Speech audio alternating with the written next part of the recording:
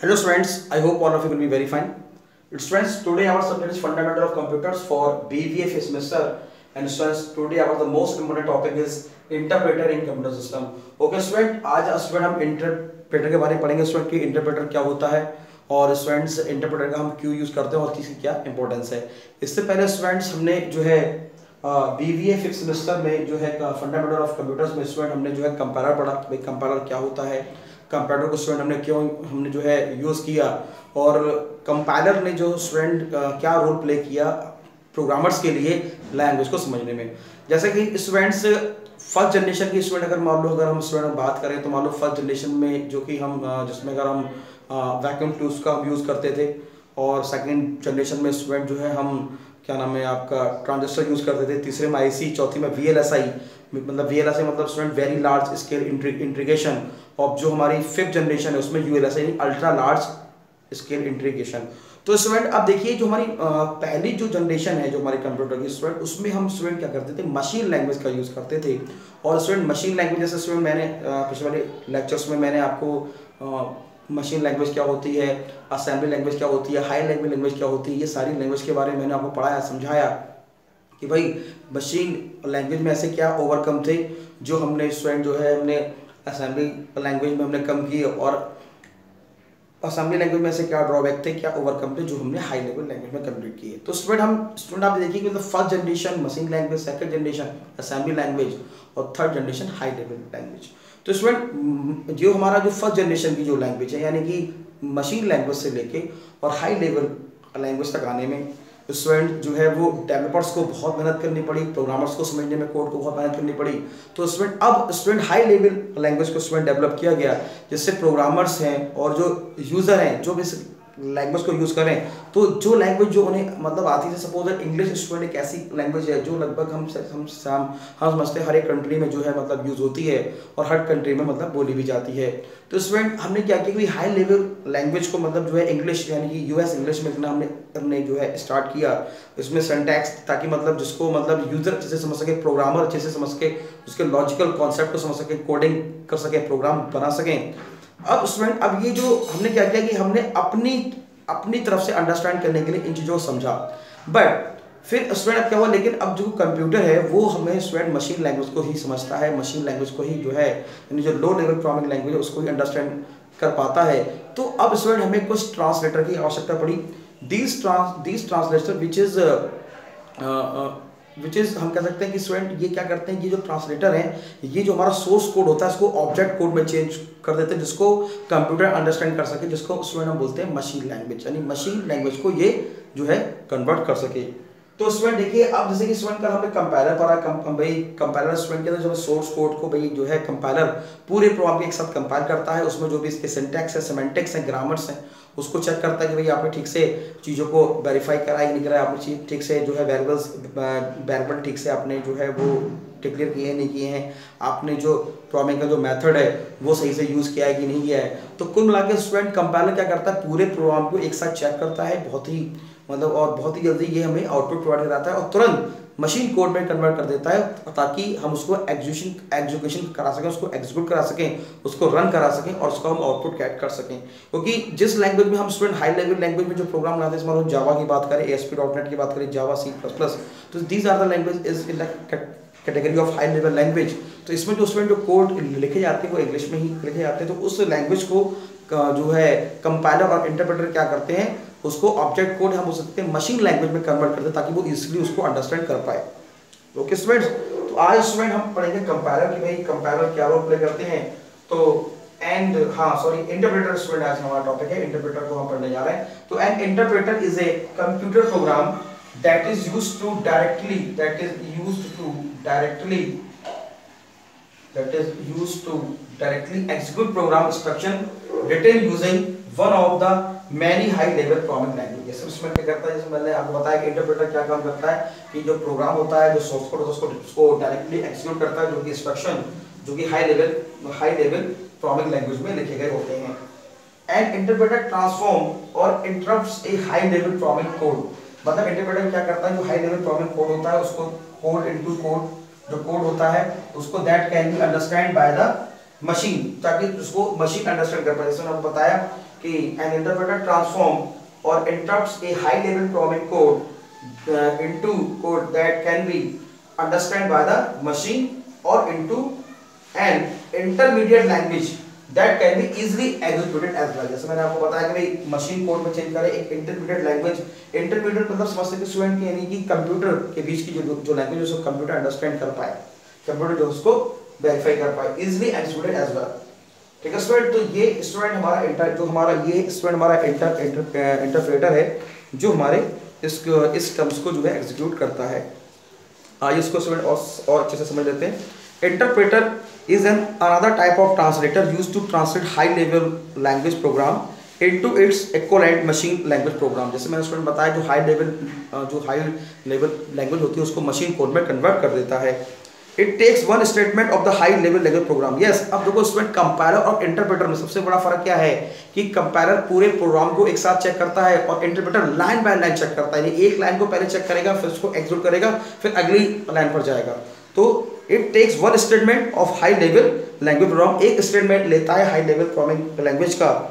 Translate into into a machine language instruction क्या करता है? उसको मशीन लैंग्वेज इंस्ट्रक्शन में ट्रांसलेट कर देता है। And then execute resulting machine language instruction immediately ताकि उसको मतलब हाई लेवल लैंग्वेज को जब मशीन लैंग्वेज में कन्वर्ट करता है तो वो उसको जो है मशीन कंप्यूटर उसको एग्जीक्यूट करता है और रिज़ल्ट हमें इंस्ट्रक्शन जो है वो इमीजिएटली प्रोवाइड कराता है। Thus that is in case of an interpreter, the translator can execution process alternate for each statement encountered in the high level language program yes alternate यानी कि one by one one by one जो इस हमारे statement होते हैं, उसको student execute करता है ताकि वो उसको अच्छे से ट्रांसलेट कर पाए और रिज़ल्ट हमें प्रोवाइड कर पाए। Each statement encounter in the high level language program this differs from a computer that merely translate the entire source entire source program into object program मतलब जो हमारा स्टूडेंट इंटायर सोर्स प्रोग्राम होता है उसको student जो है object programme में change कर देता है and is not involve in its education जो कि एजुकेशन में इन्वॉल्व हमारा नहीं होता। कहने क्या मतलब है कि द डिफर्स कंपेयर दैट जो डिफरेंट है the differs from a compare that merely translate entire source code into an object program मतलब कंपाइलर क्या करता है स्टूडेंट हमारा जो पूरा सोर्स कोड होता है, उसको ऑब्जेक्ट प्रोग्राम में चेंज करता है and is not involve in the education जो कि एजुकेशन में इन्वॉल्व नहीं होता। The input to an interpreter is a source source program but unlike a compiler, it output is the result of program execution instead of an object program. Object program की जगह student ये क्या करता है? Programme को execute करता है। Result हमें जो है प्रोग्राम के एग्जीक्यूशन के बाद हमें प्रोवाइड करा देता है। तो देखिए स्टूडेंट जैसे कि ये स्टूडेंट मैंने एक जो है एक डायग्राम के थ्रू आपको मैंने समझाने की कोशिश की है। भाई, एक हाई लेवल लैंग्वेज प्रोग्राम है इसको मोस्ट इसको स्टूडेंट बोलते हैं सोर्स प्रोग्राम ये हमारा सोर्स प्रोग्राम है, ये हमारा एज ए इनपुट है, और ये हमारा इंटरप्रेटर इसको ट्रांसलेटर ट्रांसलेट क्या हुआ? ट्रांसलेट ये क्या student translate translate and executes statement by statement मतलब उसको क्या क्या करता है? स्टेटमेंट स्टेटमेंट्स को एग्जीक्यूट करता है आउटपुट आ गया। रिज़ल्ट ऑफ़ प्रोग्राम एग्जीक्यूशन ताकि हमारा जो है प्रोग्राम का एग्जीक्यूशन का रिज़ल्ट आ जाए। ठीक है? रिज़ल्ट ऑफ़ प्रोग्राम एग्जीक्यूशन तो after compilation of source program the resulting object program is saved permanently तो हमारा स्टूडेंट जब, हमारा ये जो कंपाइलेशन जब उसको सोर्स प्रोग्राम को जब कंपाइल कर, हमारा जब हो जाता है तो हम रिज़ल्ट को परमानेंटली जो है सेव कर लेते हैं for future use future use के लिए. And it is and it is set and it is and it is observe every time program to be executed hence repeated compilation is not necessary for repeated execution of a program ज़ाहिर सी बात है भाई अगर मान लो repeat करना है बार बार अगर हम लैंग्वेज कर रहे हो तो भाई यहाँ पे भाई कंपाइलर क्या करता है एक साथ कोड को मतलब जो है ऑब्जेक्ट कोड में चेंज कर देता है तो हमें अलग अलग से अलग अलग लाइन को एग्जीक्यूट करने की आवश्यकता नहीं है However, in case of interpreter, since no object program is saved for future use. अब स्टूडेंट क्या होता है भाई हम मतलब जो है कोई भी जो प्रोग्राम है इसको हम सेव करना चाहते हैं फ्यूचर यूज़ के लिए हम सेव नहीं कर सकते हैं। इंटरप्रेटर में जैसे लिखा भी है कि since no object program saved for future use repeated interpretation of a program is necessary for its repeated execution yes अब देखो स्टूडेंट रिपीटेड एग्जीक्यूशन की हमें आवश्यकता पड़ती है। लाइन बाय लाइन उसको मतलब चेक करता है। जैसे हम स्टूडेंट बात करते हैं पैथन की तो पाइथन जो लैंग्वेज है, उसमें स्टूडेंट हम इंटरप्रेटर का यूज़ करते हैं। हम उसको एग्जीक्यूट कराने पाइथन स्टूडेंट एक प्रॉमिक लैंग्वेज होती है, जिसको हम स्टूडेंट जो है आर्टिफिशियल इंटेलिजेंस में भी यूज़ करते हैं रोबोटिक्स में भी हम उसको बहुत बड़े। और लिप्स भी हमारी जो है, उसको भी हम यूज़ करते हैं। Since interpreter translate and execute से high level language program statement by statement जैसे मैंने आपको बताया कि स्टूडेंट इंटरप्रेटर जो है, वो हाई लेवल कोड को statement statement by statement execute करता है। एक program statement must be re interpreted translate every time it is encounter during program execution यानी जब हम प्रोग्राम का एग्जीक्यूशन करते हैं तो हर बार ये प्रोग्राम को स्टूडेंट क्या करता है? ट्रांसलेट करता है ताकि हम उसको ठीक से एग्जीक्यूट कर पाएँ। For example during the execution of a program instruction in a loop are re re interrupted every time is executed जैसे स्टूडेंट हमारा जो जब भी कभी हम उसको एग्जीक्यूट कराते हैं तो हमारे इंस्ट्रक्शन जो है, वो एक लूप में चलते हैं बिकॉज़ ये लाइन एग्जीक्यूट हुई तो उसको जैसे ये लाइन ट्रांसलेट हुई तो उसको एग्जीक्यूट कर दिया, फिर ये लाइन ट्रांसलेट हुई, फिर उसको एग्जीक्यूट कर दिया तो लाइन बाय लाइन प्लान को ट्रांसलेट करता है एग्जीक्यूट करता है ट्रांसलेट करता है तो एक लूपिंग में स्टूडेंट वर्क करता है. For example during education program instruction in a loop और interpreted every time for in education so जैसे कि बात करें कंपेयर टू कंपेयर तो interpreters are easier to write easier to write because they are less complex program than compilers yes अब जैसे student हम क्या करते हैं कि इंटरप्रेटर को स्टूडेंट जो जो जो सोर्स कोड जो सोर्स कोड इंटरप्रेटर के द्वारा स्टूडेंट एग्जीक्यूट किए जाते हैं ट्रांसलेट किए जाते हैं, वो काफ़ी मतलब इजी होते हैं बजाय कंपाइलर से बिकॉज़ कंपाइलर के स्टूडेंट जिन सोर्स कोड को जो है कंपाइल करता है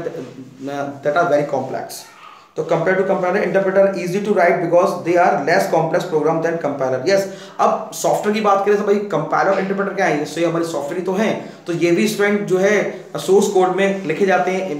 भाई एक प्रोग्राम ही तो है। भाई, ये हमारा सिस्टम सॉफ्टवेयर की कैटेगरी में आता है। कंपाइलर क्या है? एक प्रोग्राम है। ट्रांसलेटर तो इसको भी बनाने के लिए हमें स्टूडेंट जो है लैंग्वेज की, की आवश्यकता पड़ती है।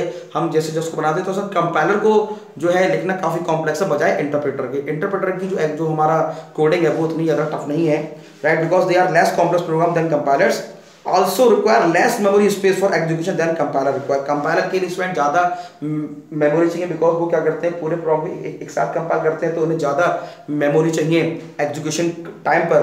बट जो हमारे इंटरप्रेटर्स हैं, ये लेस मेमोरी रिक्वायर करते हैं एजुकेशन टाइम पर।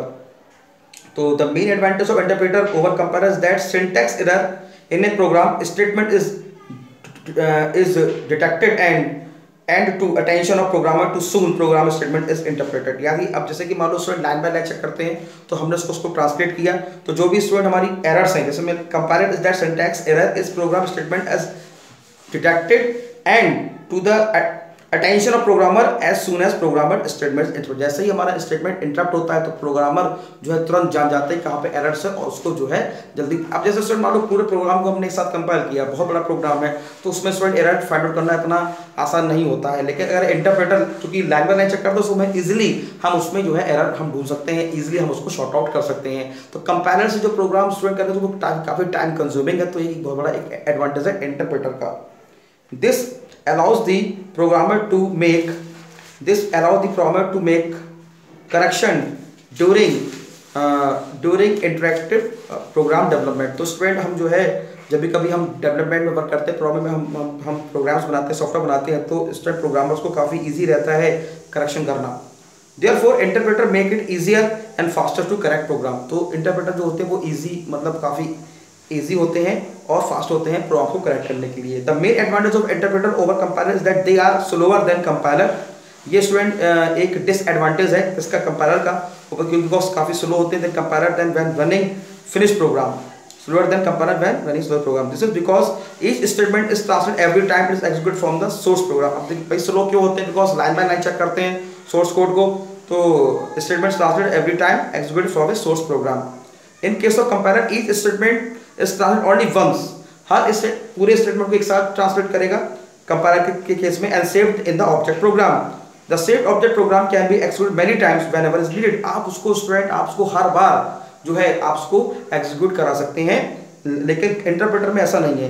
क्या कहता है save program can be execute many times whenever needed and no translation of any statement is required during the execution of a program execution program के दौरान आपको ट्रांसलेशन की आवश्यकता नहीं है। एक बार कंपाइल होने के बाद। As the interpreter does not produce an object program अब इंटरप्रेटर क्या करता है? ऑब्जेक्ट प्रोग्राम को प्रोड्यूस नहीं करता है।